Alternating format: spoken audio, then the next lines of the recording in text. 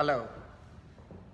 Uh, this is Waqi Munim from Courageous Mind. I am, uh, uh, you know, holding this webcast from Dubai, and the topic of the talk today is how do we rewire our mind for success? It's a very, very important topic for discussion, and I hope it will be beneficial for all of you. What I've done is that I have taken a lot of data from various researches that have been conducted by various great uh, scientists on how the mind operates. And I have taken the learnings from these uh, researches and applied it into uh, a program which can be used by corporations as well as by individuals and teams in becoming really successful in their lives. So uh, I'm going to talk about it and uh, let's start with the first uh, learning. The first learning says that the mind is programmed to protect us from pain. Okay, so that's why you, when um, you make the New Year's resolutions, uh, you say that, okay, I'm going to lose X uh, kilos of, of weight, and for that I will be training myself. But on the morning of January 1st or say January 2nd, uh, when you want to wake up in the morning to go to the gym to run, the, the mind tells you that no, maybe we can do it tomorrow or the day after. And the reason for that is that mind wants to protect you from the pain because the pain of going and, and, and exercising. And to overcome that particular uh, pain, what you need to do is to count to five or 10 and that gives the time for the mind from processing from the amygdala, which is the uh, which is the uh, side of the brain, which is the prim, uh, primitive brain, as you would say, which works on the fight or flight response, versus taking the message to the prefrontal cortex, which is in the front side of the brain, and that's the the mind of uh, reason, of logic, and once you start doing that, you are able to, you'll be, you'll get up and and, and go. Uh, or another way is just jump before the count of 10 and, uh, and then things will work accordingly. So that's a big learning. So the first learning is the mind wants to protect us from pain. So what is the some of the implications of this? One implication I told you that it causes procrastination, it causes delay. We are sitting on things, we don't want to get them accomplished because we are fearful of the pain that we will have to go through it. The second is we become risk averse and risk averse because if we take the risks uh, we feel that it is going to cause a pain. What if I lose my money in the stock market? Or what if the presentation doesn't go well in front of so many people? Uh, what will happen if I'm not viewed well? Um, uh, you know, that's another, that would be another uh, issue. So that is an important element. The other one is it causes indecision. People don't take a decision. They, they, they don't uh, want to take a decision uh, because they, for the fear of the pain that it may cause. Then it's a resistance to change. We want to change. All of us want to change. Sometimes we know the situation is not working in our favor and we want to bring about a change in our life, but we don't do that. Why we don't do it is because the mind tells us that to bring about a change, we have to transform ourselves, which is going to cause us pain in the short term. Uh, I give you an example from my own personal life. When uh, this was way back about like 13 years back when I wanted to lose my weight. I had put on a lot of weight and uh, for the first day I went to the gym. I started exercising and it was really very painful because uh, my ankles were hurting. I had put on a lot of weight. Uh, but I continued doing that. My mind told me that why are you hurting yourself? Uh, but I would just push myself, drag myself out at 5 o'clock in the morning and go to the gym and start running. Uh, for many days it was really a painful thing and I compounded it by having just two apples uh, at lunch and a, and a piece of chicken in the evening. And I lost weight from 110 kgs down to 78 and then I built it back to the 87 kg, which is the right weight for my height. But for doing that, you really, really have to, uh, you know, hack the mind for, from it telling you that, you know, you should not be doing this or it is going to cause pain. Uh, and it really gets you into a fixed mindset. There are so many brilliant people that you will come across in the world, and they will be fixated. They will be at the same place. You ask them that why aren't you putting in an effort to achieve more in life? They say, yeah, it's, it's fine. I'm good where I am. It's because the mind is telling them that this is, this is okay. This is okay for them to be in this position because going out and doing something is going to be painful. Uh, rather, going out and doing something is a learning exercise. You learn something and you become even better. So how do we rewire the mind for success, uh, knowing this particular learning? So the first thing would be to have a motivation to break free of the pain. So the motivation can be in two ways. First is in my case, when I had to run, I at that time had a slightly higher cholesterol level. So the doctor said, I have to give you medicine and I asked them that uh, what is the alternative? They said, then you have to lose your weight. So that was a pretty big motivation for me to go in to the gym and start exercising. So you need to find different motivations. If you are doing something like a decision, you start rewarding yourself with the first things that you do, some, some sort of a reward which feels as a motivation to you.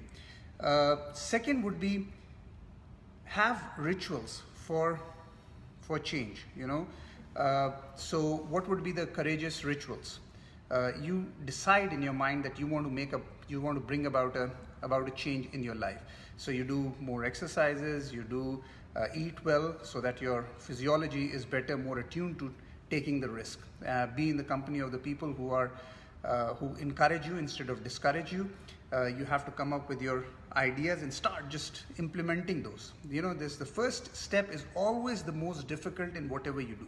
Once you take this first step, then all the other steps become relatively easier.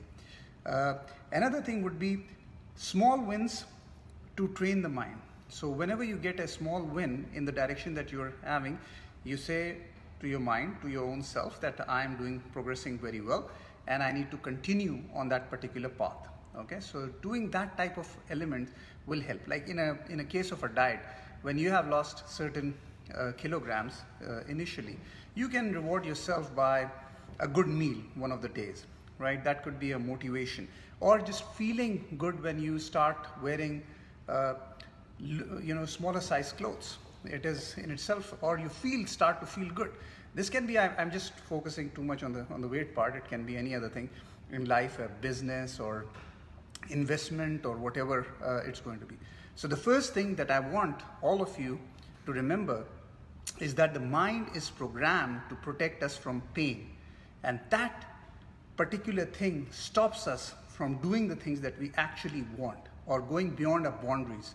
And over time, when we have the fixated mind, these small, the boundaries become bigger and bigger and we get completely entrapped into it. And we have to get out of that. So that's the first thing. Uh, the second uh, learning on the mind is multitasking drains the brain power. Okay, so a lot of people I see that they say they're very proud of doing multitasking.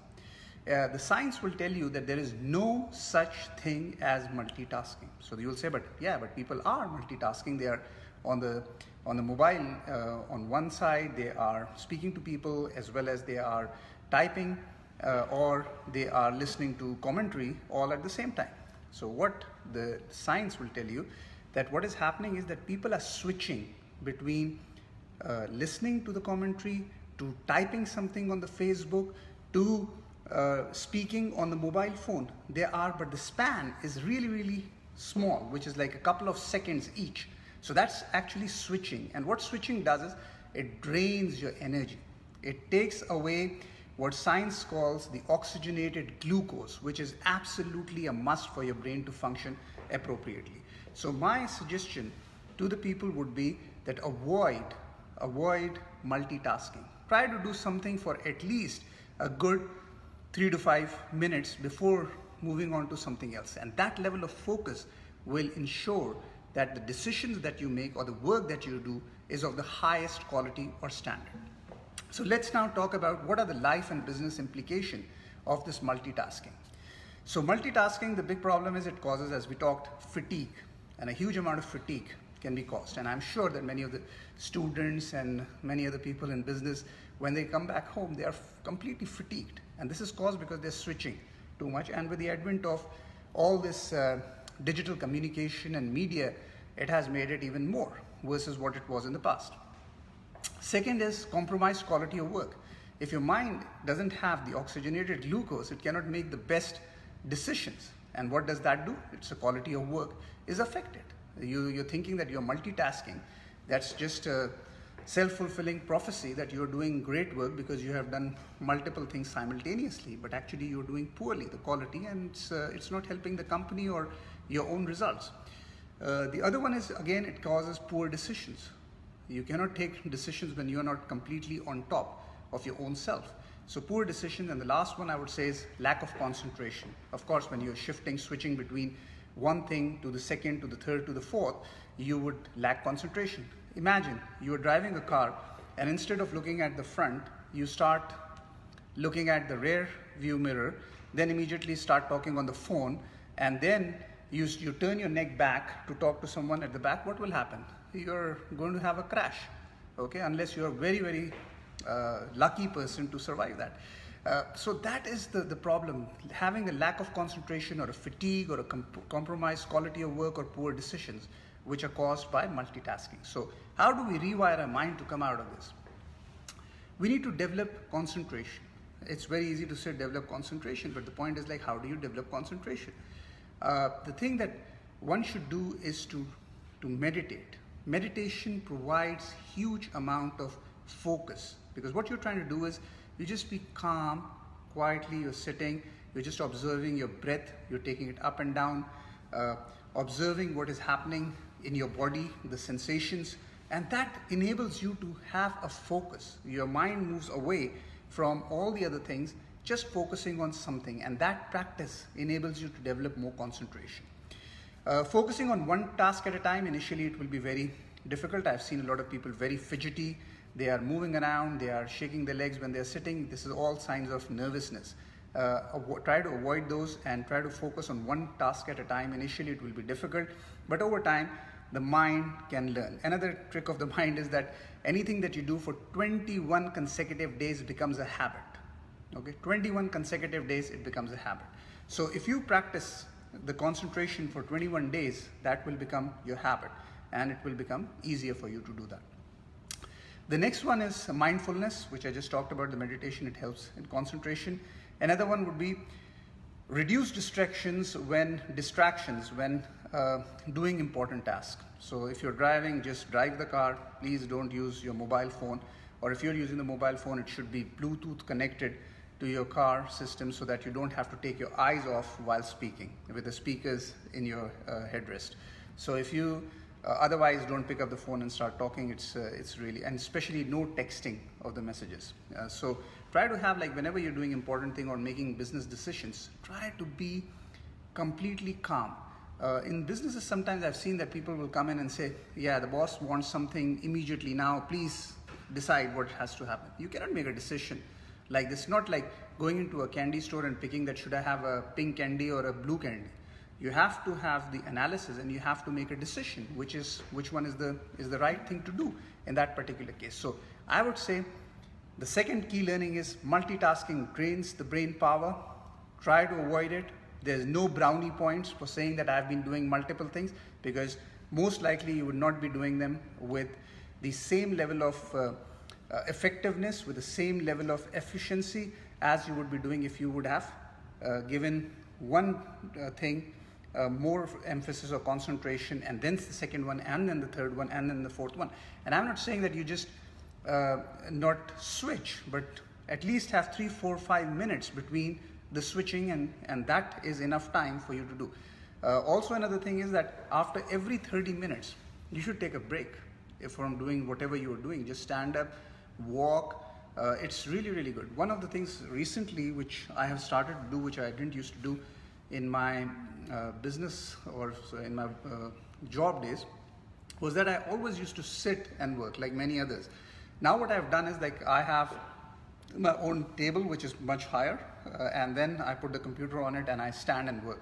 Uh, it's said that one of the most healthiest thing is to be standing while working.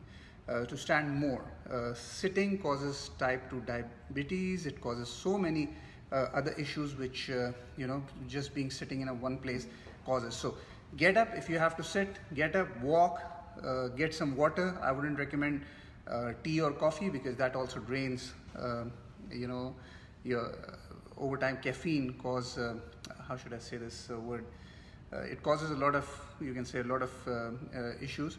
So try avoiding all those type of things, but drinking a lot of water, standing and working is much better than sitting and working. So we talked about two uh, learnings and how we can apply those in our lives. Now, moving to the third one, it's an interesting one, which says mind likes familiarity. Mind likes familiarity. So the more exposure we have to a stimulus, the more we will tend to like it. Okay? Studies have shown that we are all attracted to what is familiar to us. And that repeated exposure to certain people will increase our attraction towards them. So when we watch a particular serial or a drama or a, uh, or a, or a movies, we start to develop a liking for the actors or the stars because we see them more and our mind tells us that these people we don't have to be, could be trusted and these people are, uh, we don't feel any threat from them so we start liking. Why do we like the people in our family? It's because of the same thing, familiarity. Why do we like our uh, our friends whom we know since childhood because of familiarity. So this is the thing which how the mind operates. There was an interesting study which was conducted in 1968 uh, by Zegnock, yeah that's the name of the guy, showed Chinese characters to people from 1 to 25 times uh, and asking them to guess the meaning of these characters. The more they saw a character, the more positive a meaning they gave.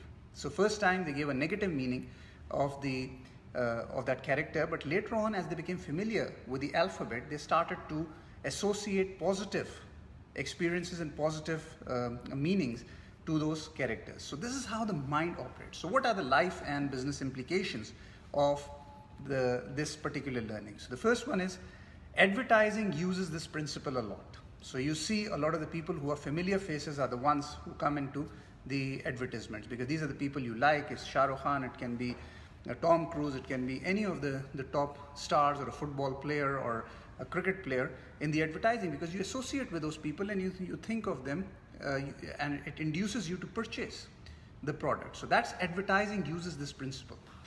Uh, second is challenges in integrating new people. Okay, so when you come into an organization, a new organization, it says like, how do you integrate a new person because they don't have familiarity and that's why you have it like they start to say this is an outsider until you people start to feel comfortable with your presence so when you're joining a new organization or you're moving from one country to the other it's very important to first uh, build trust amongst your team before taking certain actions uh, certain things that you may say to some people who know you well uh, they may take it very normally versus when you say this to a completely new stranger uh, or people who you have met for the first time. So that's very important, this principle of mind liking familiarity. Uh, and uh, in this particular environment, another thing can be innovation can be a challenge. Innovation is the lifeblood of any business, of any organization. And it can challenge that because you say that when new people are there or new things are happening, people say, no, I want to hold on to what is already there because my mind is familiar with, with, with this stuff. So to go in and do something out of the box and to bring a completely discontinuous idea, it makes it more difficult. First, the issue is of the pain that it costs, which we talked as the first learning. And the third one is it's not familiar because you're going into a territory which is which is completely new and going into the new horizons, trying something completely different, uh, it poses a lot of issue. So the third thing is mind likes familiarity okay so what do we do in terms of overcoming that uh, in businesses i would say having longer assignments is better so that the team gets to know each other they know how people operate what are their styles of, uh, of working. And once they know about how people operate they become more attuned to their working styles and are able to achieve more. So that's that's important. Uh, keeping teams longer together it works.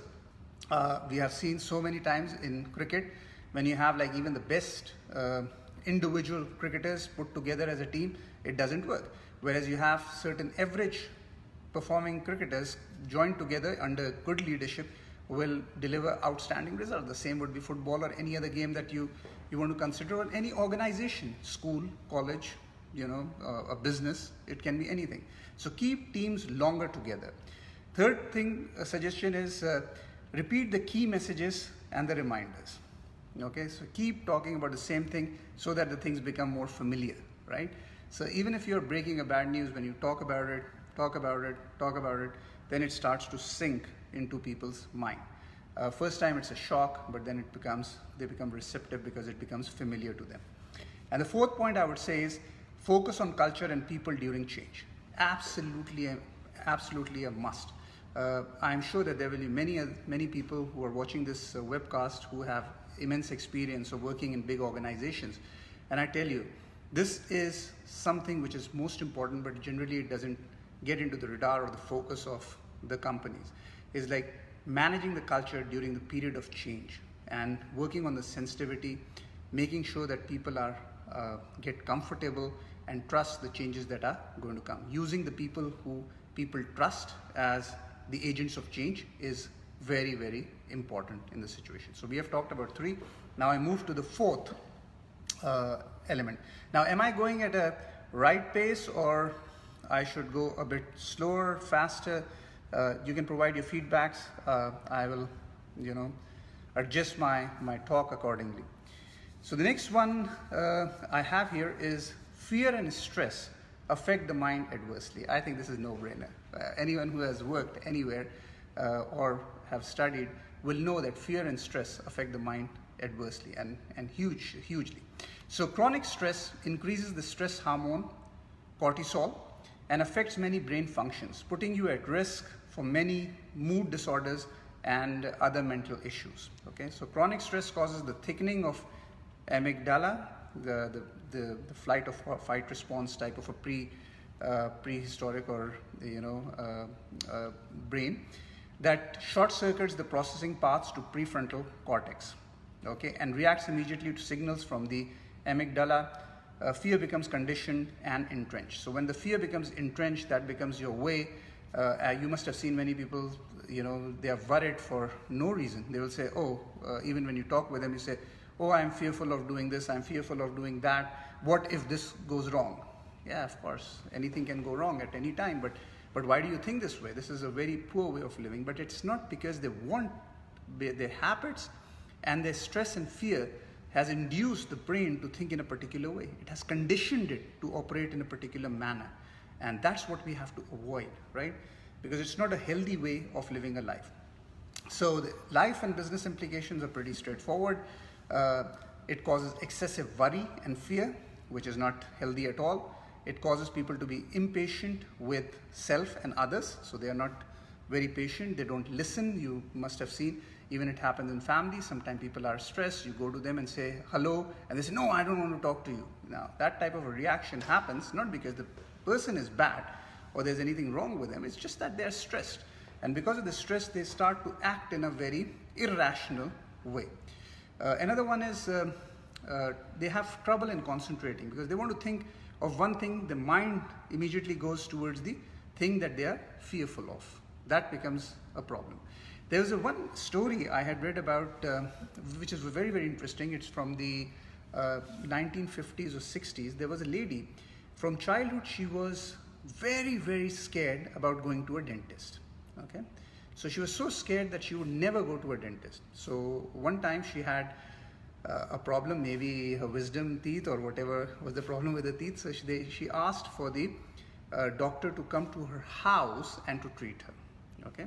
So when the doctor was treating her, she died, okay, on the dentist chair. Now, when the, the next day the news came out, the people said that she didn't die because of the, the surgery to the, to the teeth or the extraction of the teeth. She died because of the fear that was in her mind. The fear killed her of the dentist. And that is something we need to avoid. What is it that you are fearful of in your life? take it out. It's not worth living a life by fear. Generally, what I try to do is what I'm really fearful of, I do it more.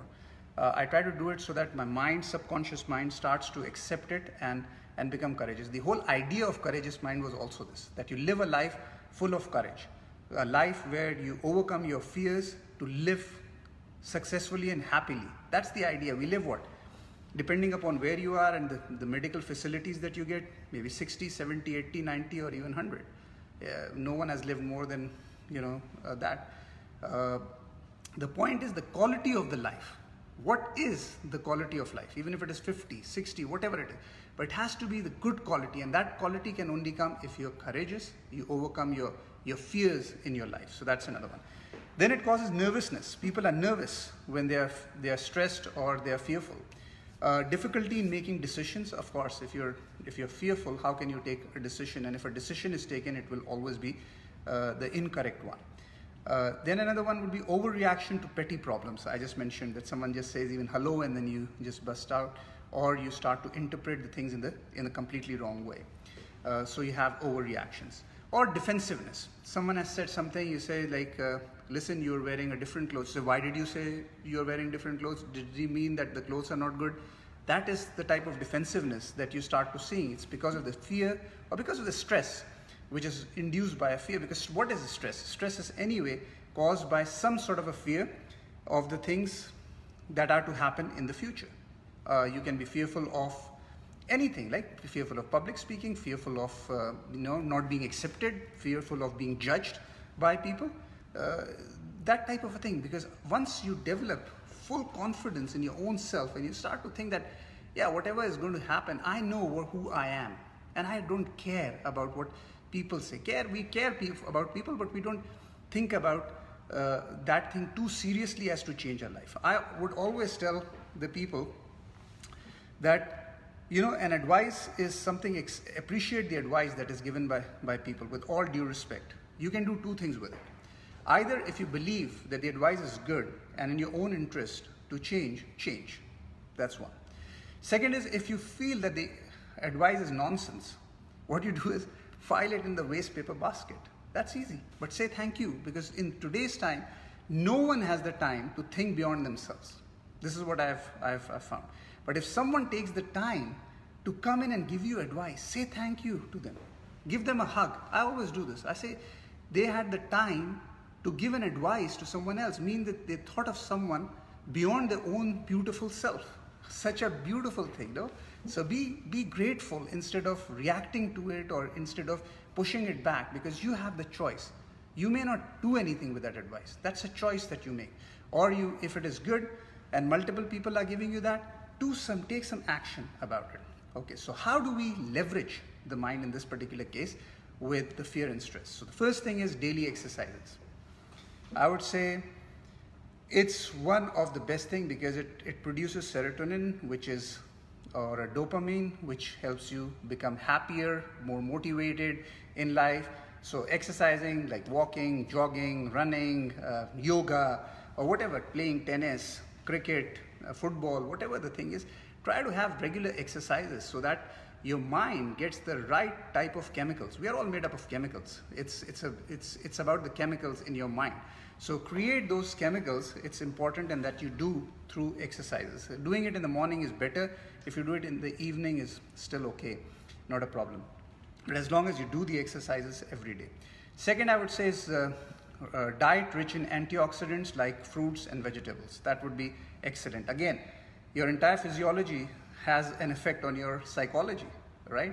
So what you're eating is determining who you are, right? We are all, you, you eat a banana and it, it is your shape, right? It, it, this is what it is, whatever food you eat. So the nutrients that you provide to the body becomes really, really important. So eat the right thing, drink a lot of water, I would say. The other thing is mindfulness. You know, you have to spend a lot of time with your own self. The secrets to everything in life are residing inside you. You don't need to go to some of the wise people to learn about uh, things. In today's time, you just download on the internet, you can get any information that you ever wanted or more. But the important thing is how do you utilize that and how do you discover it yourself? Okay, like Socrates said that I cannot teach you anything, I can only show you the way. And that's the main thing. You have to discover it for your own self. You have to experience things, you have to fall, you have to fail, you have to then learn and, and progress in life and be happy because life is only for, for once. Uh, another important thing is sleeping well. I have heard a lot of people say, oh, I worked on this report uh, all night long. Sorry, why did you work all night long? Why didn't you plan so that you were able to do it earlier so you could sleep well, so the quality of your work could be much, much better uh, than what it turns out to be, you know. So you may have, everyone has their own uh, biorhythms in their lives. Some people are uh, more nocturnal. They do this stuff in the night. Some are in, uh, uh, love to do it in the morning. For me, uh, during the time of the sunset, it's the worst time. I never write anything at that time because I'm not productive. Uh, in the morning, I'm very productive, or in the in the night, late night, uh, when everything is quiet and calm, and then then I can do a lot more work.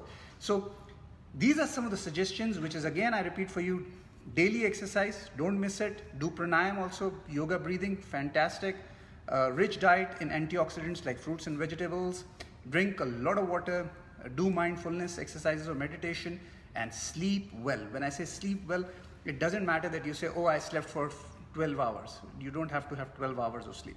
Even if you have five to six hours of quality sleep, where your mind is completely rested, when you wake up and you say, yeah, I have, I feel good, that's the type of thing that you have to, uh, you have to get. And you have to be in a complete deep slumber and that you are into your dream world or whatever that's what is needed. Or do a power nap as well during the day. Whenever you get a little bit time, just close your eyes, do a little bit of mindfulness, sleep uh, for say 30 minutes even. That will give you more energy to come back powerfully uh, to complete your day with excellence. So that's uh, uh some of the suggestions. Now moving to the next learning. Okay, we are doing pretty well in 30 minutes. We covered, I think, uh, four or five. So the next one is meditation is a powerful brain booster. Okay, so this is science saying, this is not Waqi Munim saying. Research shows that meditation not only changes the brain, but it changes our subjective perception and feelings as well. Okay, so it changes the feelings. There were also decreases in brain cell volume in the amygdala. Amygdala, remember, this is the, the primitive uh, brain, which is responsible for fear, anxiety, and stress. And these changes matched the participant's self-report of their stress level. So meditation is important. Now meditation has become a business. Everyone is talking about meditation and they will teach you like five minute meditations, 20 minutes meditation for law of attraction. Uh, you do this, you will become like this. I really have never understood that. Why is it that everything needs to uh, link to something materiality? This is where the, the people are going through and this is causing the stress to everyone because everyone has tried to associate that every relationship, every thing that they do has to monet be monetized into something else. But why? First is like life is not about monetization. You may be a billionaire or a pauper at the end, you will have the same space in the grave or you'll be cremated or, or whatever way you, uh, you know, your, your customs uh, do. So living the life with happiness and that's what meditation provides. This is important. It provides the balance. It, it enables you to think on your own instead of using of uh, giving out your you know uh, how, how, should I say is uh, using someone else's brain instead of your own in taking actions. That's that's a really poor way of, of living your life. So the implications of meditation, I would say, is like first, if you're not doing it uh, or doing it, meditation helps us gain perspective, a broader perspective of the things that we have uh, improve our ability to focus by blocking out other distractions. So when you have the concentration, concentration enables you to have better focus, better results. It reduces stress. You can try it yourself. This just brings your uh, stress levels to a lower level. Just by doing pranayam or breathing exercises, it helps tremendously the human body. Uh, improves memory. It enhances collaboration with people because you're not reactive, but you are listening, uh, actively listening to what people are saying. So that creates better collaboration with people. Reduces blood pressure. You can test it yourself at home after doing the yoga breathing. Test your blood pressure before and after, and it will have a significant change. Uh, you'll feel less fatigued, and uh, people who do uh, meditation fall sick less. That's what the science says. So, how to leverage in this case? Is regularly meditate and I wouldn't say that there is a particular form of meditation. I give you another very interesting story. So I was in Geneva and uh, I heard about the transcendental meditation. It's an amazing type of uh, meditation which was uh, which was developed by, in 1960s. I forgot the name of uh, the guru who did that. Uh, even the bgs uh, they were um, using the transcendental meditation. The thing is that it's just a chanting of a, of, a, of a word which doesn't even have a meaning that is assigned to you by the Guru. So I went to this uh, particular place and uh, this guy, he was a, he was a German Swiss and he told me that, uh, you know, it's going to bring about a huge change. He did about uh, 40 minutes of a lecture. Then uh, he said that you have to first join and pay and they were charging me for this thing about $7,000, okay, for seven sessions or whatever. And all that needed was that they had to give you, assign a mantra or a word that I had to continually say in my mind. The word could be anything. It can be like, uh, uh, oh ho, yeah, you can just anything. And they would say that this is linked. So I myself went onto the internet. I got more data than what this guy was telling me. It's available. Uh, and you should, what, you should do things uh, what your body tells you at the end. So even if someone says this is the greatest thing, it doesn't work in your situation, what's the point? So I generally try to do like test them on my own self before recommending to someone else, right? So I want to do the things. And I tell you, for the meditation, I do what works for me is the yoga breathing. Breathing meditation, it has worked for me. For other people, something else might work, but my suggestion would be try it. Once you try this, then it uh, then it, it it's it's beautiful. Whatever works in your particular situation, but do take the time to regularly meditate. It's going to be amazing. Someone has asked me a question. I heard that uh, everyone has his own mantra word. Yeah, in transcendental meditation, it is true that this is what uh, happens. Uh, uh but I don't know what is the significance of this, or I haven't uh, that level of knowledge that I can share with uh, on this. That why do they need to have a specific mantra for a specific individual? I, I, am not qualified enough on this one to, to talk about it, but, but it is true that that's what they say that it is. Uh, the next one I would say is uh, uh, use power meditation or power mindfulness at work. whenever you have a little bit of time in the meetings, I would do this. Like if this was like you have the same thing would be happening all the time in many of the organizations people must be very familiar with so uh, sometimes when the things were going becoming too much nonsense i will just simply do another below quietly to just keep myself calm and just pace through the day and provide my perspectives and uh, without uh, you know uh, saying something which is not politically correct uh, as well. Uh, the other one would be uh, have a meditation room at work. It helps. It helps. And then teach meditation techniques. If you have learned something, share with others. Also learn from them. What are their techniques that they are using? Because we need to help each other. This is now the world of social media. It's a world of about helping each other. Uh, but do it after experiencing yourself. What I am not very, uh, uh, you know, uh, I don't recommend is when I see on Facebook people putting in things which they haven't even even checked. They will send out messages which will say that Dr. Zung Lee has said this. Who knows who's Zung Lee? You know, it's like who knows? And how does, how, what is the proof that it actually works? Is there a scientific research which is backing that thing up?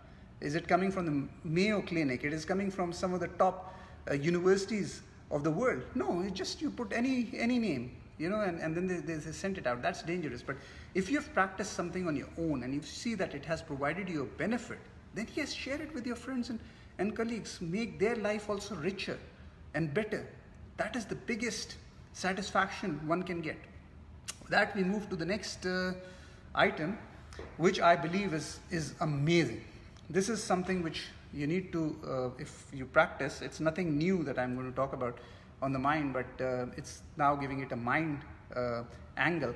But this is, uh, you know, known by everyone since ages, and it's in every culture uh, and every civilization, which is gratitude changes you and your mind.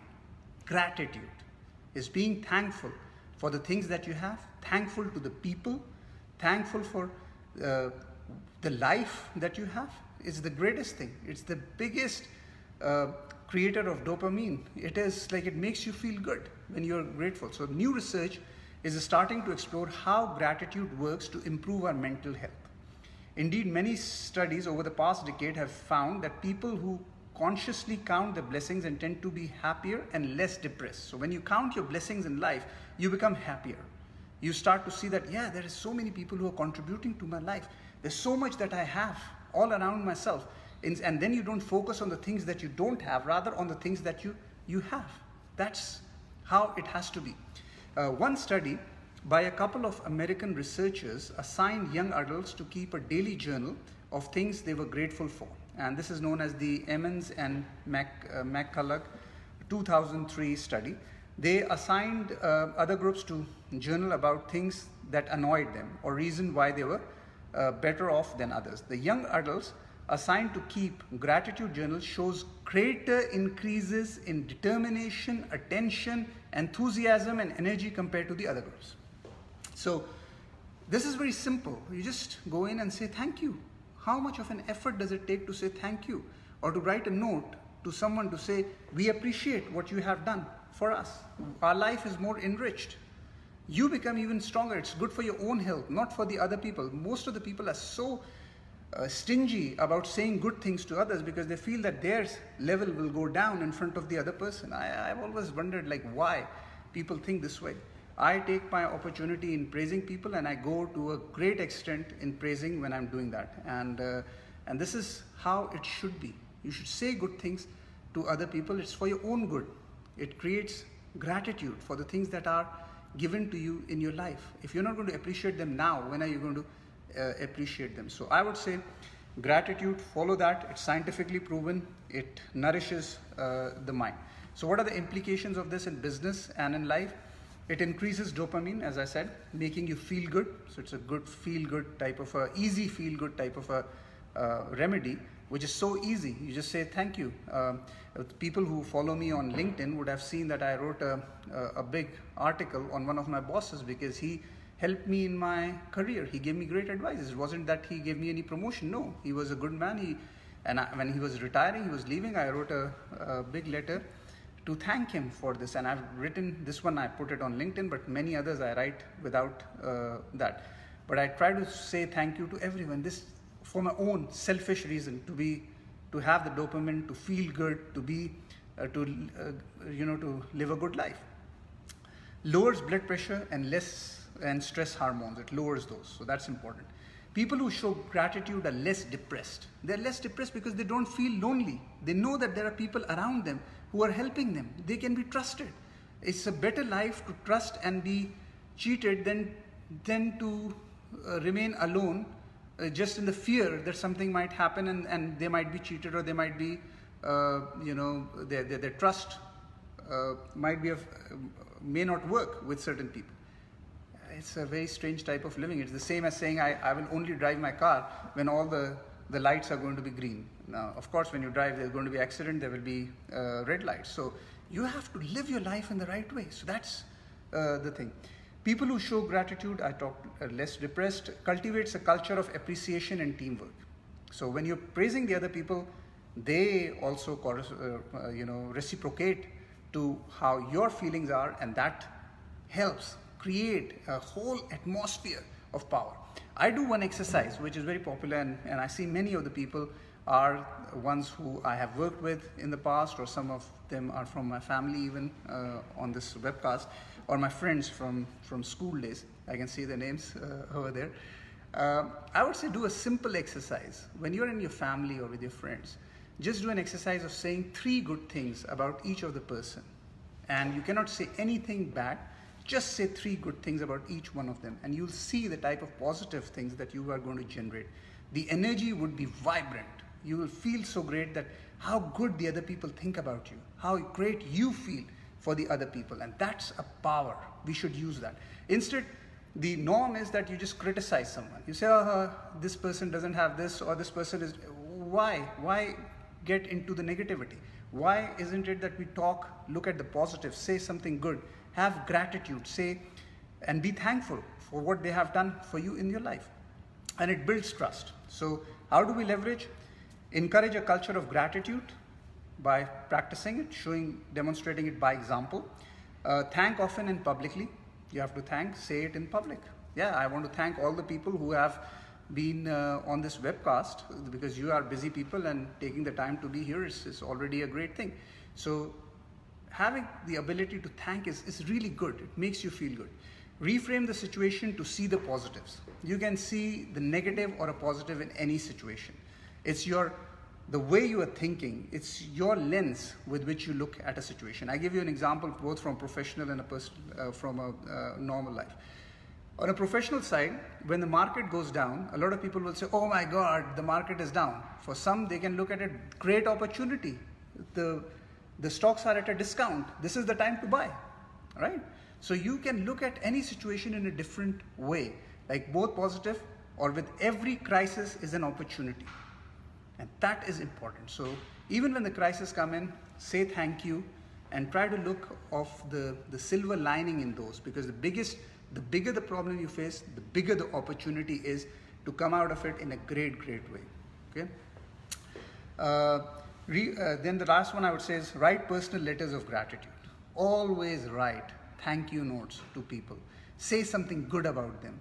Uh, I learned this a lot from my father. He used to be I, I think the greatest motivator I have ever uh, met in my life. He, when I was uh, outside, you know, most of my career has been outside of Pakistan. I hardly stayed in the last 27 years, uh, one or two years. And he would write to me letters instead of, you know, just making a phone call. Uh, he would detail letters and in all those letters he would say you are a champion you're great and i'm so happy with you and how you're doing it's like amazing he would just pump you to be like, I would feel that I could conquer the world uh, with his presence. So why can't, and I try to do the same thing for my children and for the people who come in contact with me. In my own small way, I cannot be as good as what he was. But why can't each one of us be the same? Why can't we go out as form of a gratitude, also say good things to the others and, and, and provide them with, uh, with the energy, the power, the positiveness for living the life with, with passion instead of clipping their wings. You know, give them the wings to fly, to do better in their life, right? And in the process, you also uh, uh, experience their success vicariously. No, that is that is how it should be. So gratitude is really important, and we should all uh, follow that. The next one is short span of focus. Uh, how much time? We still have a little bit time. Uh, attention span is the amount of concentrated time a person can spend on a task without becoming distracted. Okay, so that's what a span of time is. Most educators and, and psychologists agree that the ability to focus and sustain attention on a task is crucial for the achievement of one's goals. Studies show that the attention span on average has gone down from 12 minutes to 5 minutes in the new social media world. So the short spans of focus so people don't have the time or they don't have the, I would say, they don't have the, the, uh, the, the, focus for last, that lasts more than like five minutes. So this has a life and business implication, which is like long meetings can be unproductive. Yeah, because people don't have the focus, then after a while people are just being there, but they are not productive enough to do or say things which can help the, uh, build the business. Second would be decision made at the end of the long meetings can be dicey. Of course, when your focus span is so short as five minutes, or you know, for some people who have developed the capability to make it last longer, uh, it's not going to last through the whole day. At the end of the day, you are really uh, exhausted uh, with doing multiple things. Your mind is telling you so many things. You have lesser oxygenated glucose that we talked about. Then the decision making will be the worst if it is taken at the end of the day.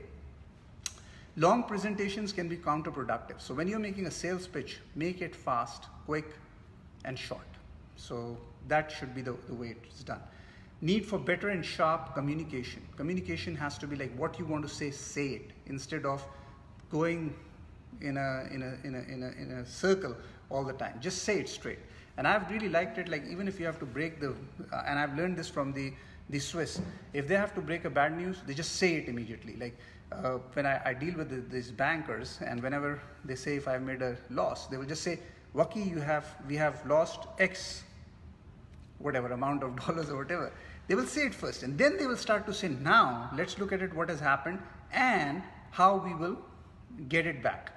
But they will just say it straight. So that is important. Just say it. So that people just first get that thing, and then they start to think about like how to uh, go about it because after like five minutes if this someone is giving a story then you have lost the focus anyway Uh, being prepared and active listening is important. Most of the people are just talking or waiting for their turn to talk. Instead, listen carefully to what is being said. It's important. So how can we leverage the mind in this particular case? So short and effective meetings, make the meetings short. Uh, you can have multiple topics, but break them down so that it's easier for the people and give a lot of breaks in between. Uh, then invest in communication skills. Communication is not about speaking English or speaking another language.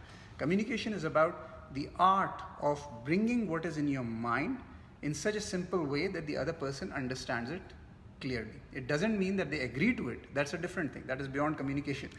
That's persuasion. Uh, they may agree or they may not agree, but they should not say that I did not understand what you said. They need to understand it fully, and then it's up to them what they want to do with that. Decision making follows similar formats of information.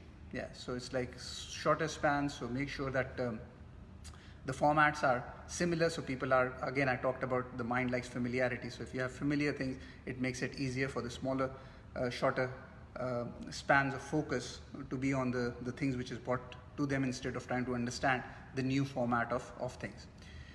The next one is, uh, uh, I think I have 10 more minutes. Mind works with pictures and words, okay? So the way that your mind understands how you feel about something comes down to two things. The pictures you make in your head and the words you say to yourself. The whole inner dialogue that you have with your brain is conducted by your thoughts. And those thoughts can be in pictures or words. So if you want to change the dialogue that you're having with your mind, change the words that you choose and the mental images you choose to focus on. What a powerful thing, yeah?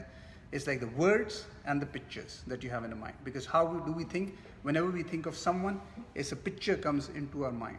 And then the power we have is the words that we use. So how can we use the words of power, of positivity uh, all the time? That's important. This is how you have to train the mind. So business implication is, uh, it's important, the story you tell yourself is important. One is the story, all the time we're telling a story to other people or there's a story that we are telling to our own self. That is the story is like, are you a victim in your story? That, oh, nothing ever good happens to me. I am a poor person who has been affected by the situation. The world has been cruel to me, or this is a victim mindset and a victim storytelling. Another could be that person says, yeah, I see the challenges and I enjoy the challenges of life. And this is why it makes me feel alive that I have challenges and I can overcome those challenges by, by taking my intellect to a higher level by learning, by experiencing things, and that's what I enjoy. So that's a completely different story that you're telling to yourself, and the story that you tell yourself has a huge impact on your success because it affects your subconscious mind. And the subconscious mind then enables you to get to the things that you want in your life.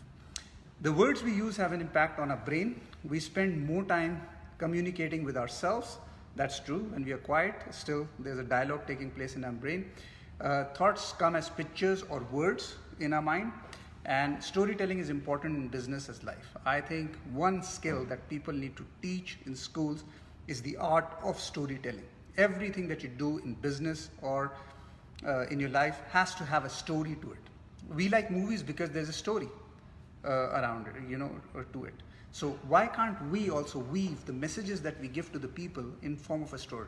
It's not going to be that you start writing your note, uh, your memo by saying once upon a time. No, it's, but you get the point, which is more about like, it has to have a story. Why certain thing happened, then what needs to be done. So it's like something which is more joyful to read or something which brings your, um, you know, your focus onto. So that would be important. And how to leverage the mind in this case is use power words decisive, positive, and courageous. Decisive, positive, and courageous words. Uh, develop a positive story that you tell yourself. The talk, the self-talk that you give has to be positive. You have to tell yourself that, believe in yourself. Like I give you an example. A lot of people have a problem in doing public speaking. Uh, this is considered a bigger fear than fear of death. But if you tell yourself that these people have come in to listen to me, they have taken out the time to listen. They are there with me.